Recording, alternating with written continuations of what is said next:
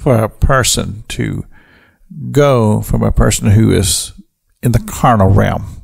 I mean, they they see things in the carnal, they live in the carnal. To go from that state to a person who is a person of faith, and they can believe God and believe God for miracles. They can pray. That that's a miraculous thing when that takes place.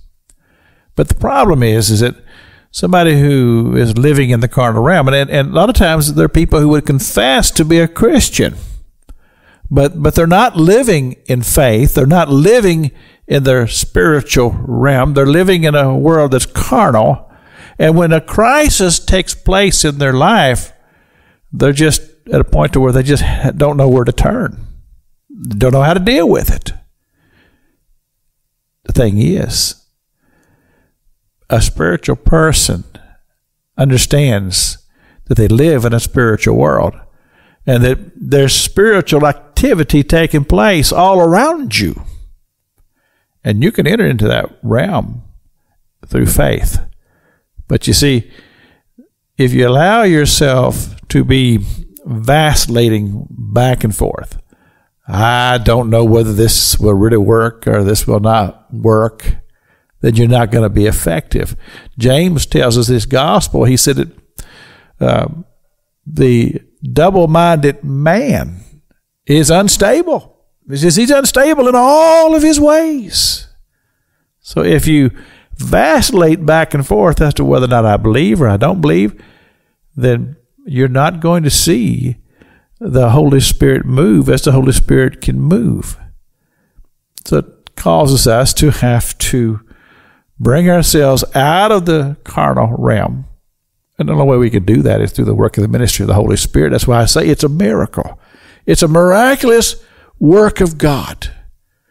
But God can transform the heart that is distant, the heart that's in denial, the heart that's uh, caught up with uh, is there a God or is there not a God?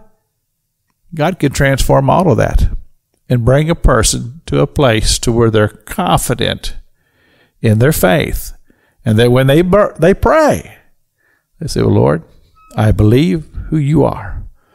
And I'm trusting you because your word says this. And we talked about this on Monday. We talked about how that the scripture tells us if they're sick among you, call for the elders of the church, pray the prayer of faith. But keep in mind, that you too are a spiritual person. And and thank God for the for the elders and for the pastors. But God, if you're a husband, a man, you have a family, you are the priest of your family. You can pray the prayer of faith because you're a spiritual person. Maybe you don't realize that you are, but you are. And you can pray the prayer of faith over your family. I mean, God has given you great responsibility. And He has given us the ability to enter boldly, as it says in the book of Hebrews, into the realm of faith. And we can believe God. We can pray over our family. And we can say, God, I'm asking you to move for my family. It's amazing. Pastor Jack King with the gospel on the radio broadcast.